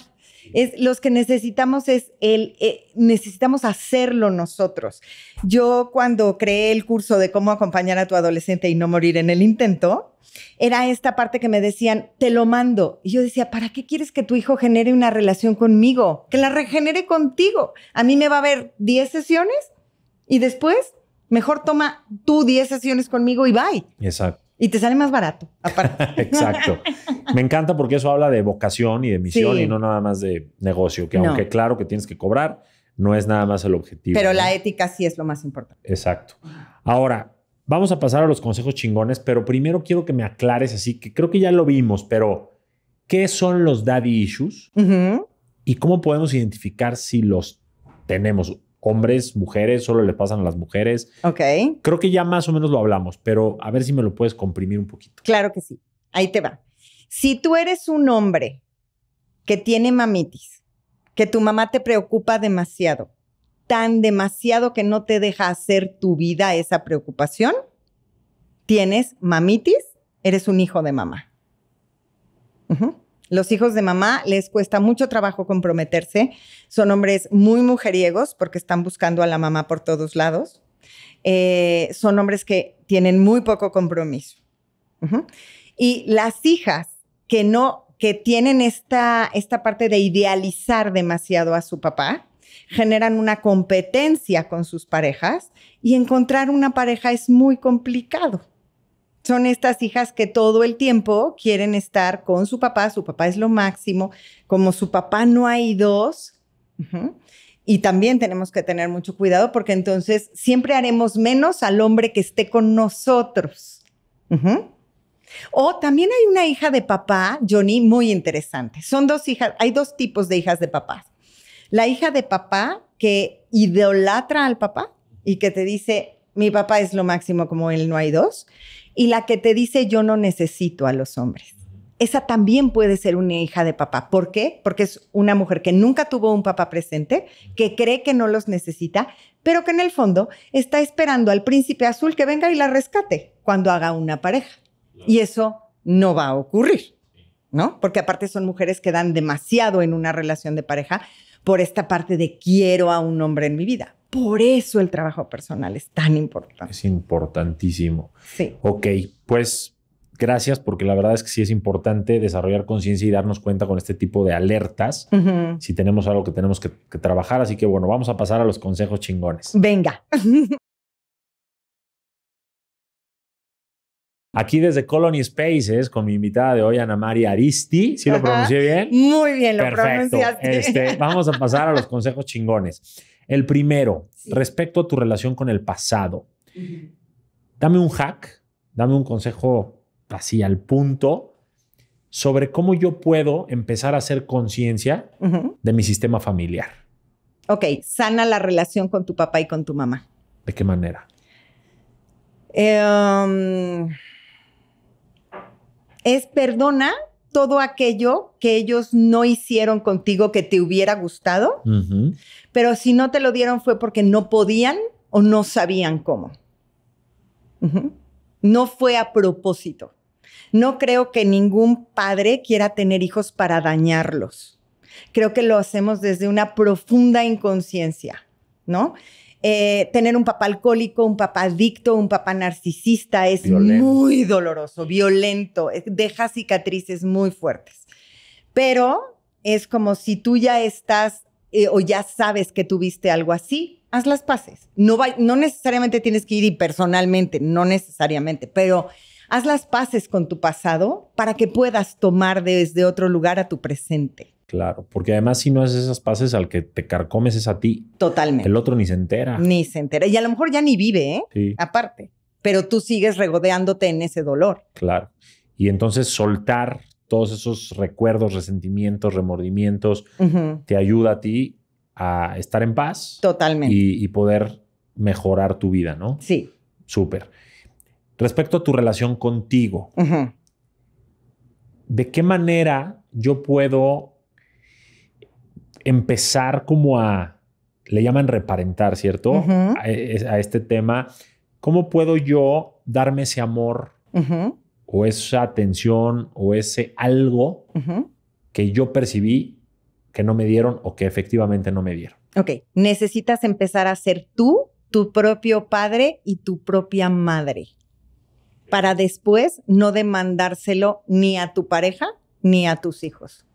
Es tú aprender a sostenerte en ti mismo. Porque si no, vas a esperar el día de mañana cuando te cases que tu pareja te dé lo que tu mamá no te dio o lo que tu papá no te dio. Entonces, tenemos que aprender a ser nuestros propios padres para nosotros. Ok. O sea, darte todo lo emocional, económico y todo lo que necesites darte para estar bien. Y no estarlo pidiendo del exterior. Llámese pareja, amigos. Es jefe. que mis papás no me dieron, qué barbaridad, no teníamos la oportunidad. Entonces ahora tú ve y búscala. Es que a mí no fueron cariñosos conmigo.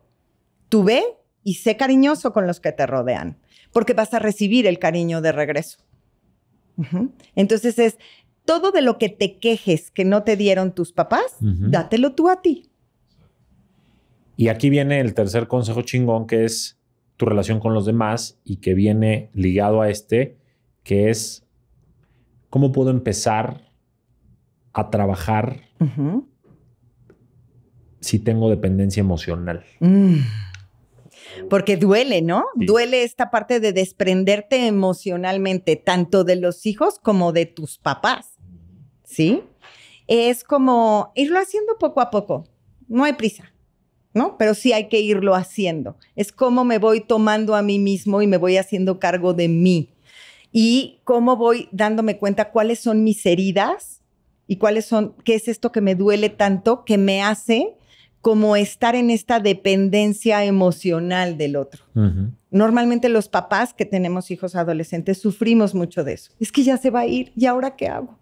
Pues hazte cargo de ti mismo, porque muchas veces nos hacemos cargo de los adolescentes para no hacernos cargo de nosotros mismos.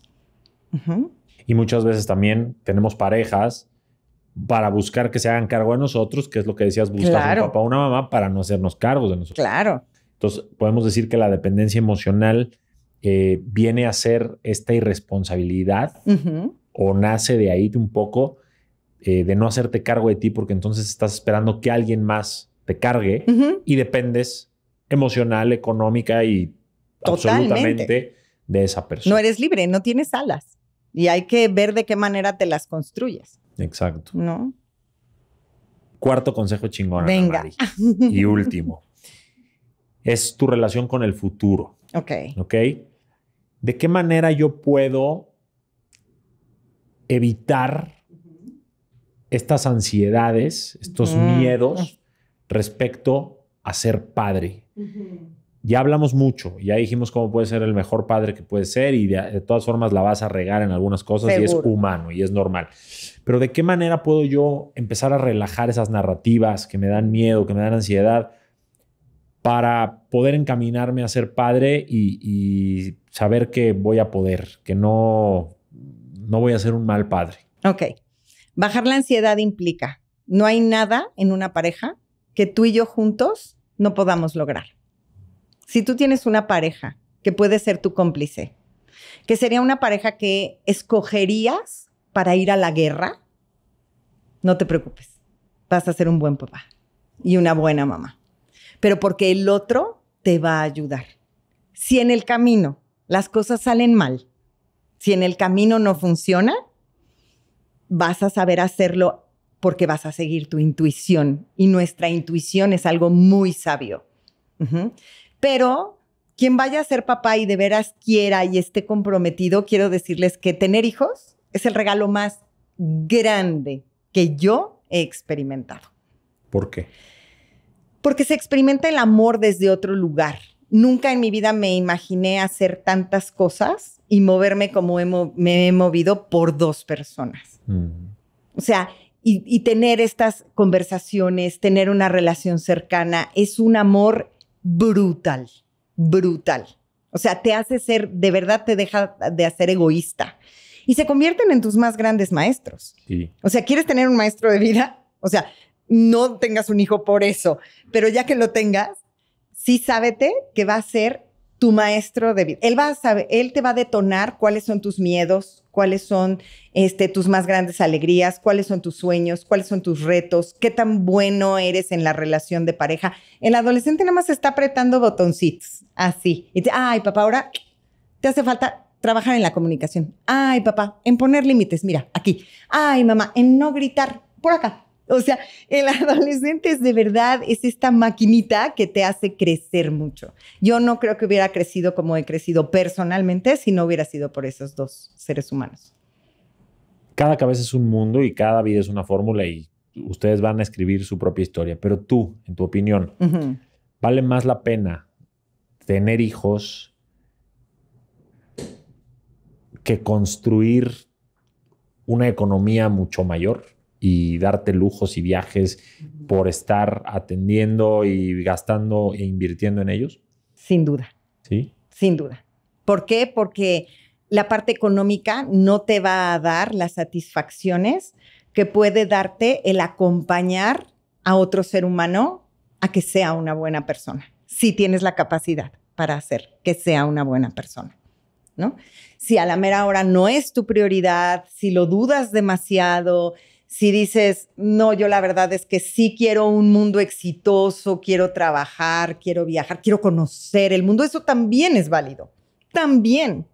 Pero sí piénsate que a lo mejor jugar con una caja de cartón muchas veces puede ser mucho más divertido que estar en Europa, solo sin esa, esa cercanía. Me encantó, precioso. Ahora, muchas veces cuando le preguntas a alguien que todavía no tiene hijos, las razones por las que quiere ser madre o padre, casi todas las razones se versan en cosas como egocéntricas. O sea, es, es que quiero saber lo que es ser papá, es que quiero una familia grande, es que quiero la sobremesa grande, es que quiero vivir tal cosa, ¿no? Es, eh, son como anhelos que a lo mejor, o, no sé cómo lo definirías, pero tener hijos es un acto de amor o empieza por un acto de ego que mm. acaba en amor o cómo es. O a lo mejor un acto de egoísmo, ¿no? quiero que me cuiden cuando yo sea grande. Ese tipo, por ejemplo. No me quiero quedar solo en la vejez. Esos son actos muy egoístas. Por eso no tengan un hijo. No lo tengan, de verdad. No. Es, bien difícil así porque les generamos mucha carga. Yo en el consultorio sí veo adolescentes que la pasan muy mal y desde que son chiquititos. Es esta parte de mis papás se pelean todo el día, ya no sé qué hacer. A veces me siento culpable de estar con mi mamá, pero pobrecito de mi papá. A veces pobrecito de mi papá porque se queda solo, pero mi mamá. Entonces es un ir y venir de emociones que no, si de verdad no estás dispuesto a crecer personalmente, y a tener trabajo personal y a estar presente con estos seres humanos, dos, uno, cinco, veinte que tengas, mejor no lo hagas.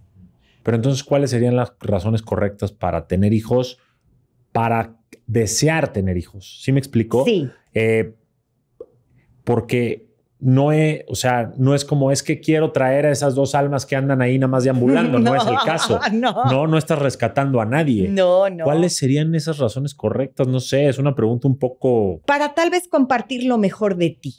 Ok. Para enseñarle al otro tu mejor versión.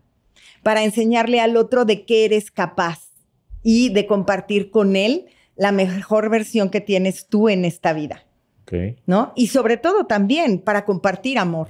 El amor es lo que mueve al mundo. Y si no hay, no hay amor, no hay orden. Y si no hay orden, no hay amor. Sí. Entonces, cuidar el orden y cuidar esta parte donde te voy a enseñar mi mejor versión. Sí. Y sabes que, Ana María, de, de gente loca, traumada, violenta, narcisista, ya estamos llenos. Claro. Por favor, si vamos a traer, y me incluyo porque yo estoy en ese proceso, más gente al mundo, que sea para darles todo esto que hablamos hoy, que es tiempo, calidad, nuestra mejor versión, amor, eh, respaldo, apoyo, no sobreprotección, etc., etc., etc., para que sea un granito de arena a mejorar el mundo en lo colectivo a partir de hacer ese mundo de esa persona bueno porque de lo otro ya estamos llenos, estamos hartos. Ya no. Y yo creo que tenemos que hacerlo por las razones correctas, que es amor, que bien dijiste, y porque sabemos que podemos hacerlos crecer bien. Sí, porque no quieres generar un hijo narcisista. No quieres generar un hijo solo, un hijo violento, un hijo angustiado, con ataques de pánico, con ataques de ansiedad. No quieres generar eso. Así es. ¿No? Al contrario, gente es, que, dé esperanza, que vea grandes posibilidades, que comparta, que se lleve tu mejor versión. Así es. ¿No? Pues Ana Mari, muchísimas gracias. Mm. Gracias por recordarme algo que se había escondido un poco en mí, tal vez por todo esto que se escucha tan complicado de ser padre. Reconecté muy bonito con, con mi sentimiento paternal. Eh, gracias por darnos una guía muy clara de lo que hay que hacer y lo que no hay que hacer. Eh, y gracias por recordarnos el esfuerzo y el trabajo que nuestros padres hicieron con nosotros. Así que hoy este episodio va dedicado a todos los papás, hombres y mujeres, a los míos en especial, se los dedico, y a tus hijos sin duda también. Y bueno, gracias. Tú me buscaste, pero la verdad es que fue una gran satisfacción para mí haber tenido como invitada. Gracias por aceptar la invitación. Y nos vemos pronto para más temas, ¿te parece bien? Sí, me encantaría. Yo la verdad es que te agradezco profundamente la confianza que abras tus micrófonos para mí. Es un honor y un privilegio. Este, Sí, no podemos crecer con esta frase de todos los hombres son iguales, ¿no? Es por eso me interesaba tanto hacerlo contigo, porque no es cierto, no todos los hombres son iguales. Sí hay hombres buenos, sí hay hombres que quieren hacer pareja, sí hay papás presentes y no podemos dejarnos llevar por esto de dónde están los papás. Necesitamos a los papás y que me hayas dado la oportunidad y que yo confirme que sí va a estar padre esto de la paternidad. Es hermosísimo. Muchísimas gracias. Como siempre les digo, el amor bonito aún existe y no solo en pareja, también hacia tus hijos, de tus hijos hacia ti, porque el amor es esta fuerza o esta magia que nos envuelve y se ve materializada en las acciones. Entonces tratemos de ser la mejor persona que podamos ser para nosotros, también con nuestras parejas, el mejor equipo que podamos ser y sobre todo con los seres más vulnerables que son nuestros hijos, porque entonces podremos decir que tenemos una vida plena, ¿cierto? Ciertísimo. Buenísimo, Ana Mari, pues te damos el aplauso tradicional. Gracias, chicos. En Conquista tu Mundo, bienvenida. Ya no regañes al productor, ¿eh? Jorge, pues tienes más libertades a partir de hoy gracias a esta invitada. Por favor. Exacto, nos vemos pronto, gracias.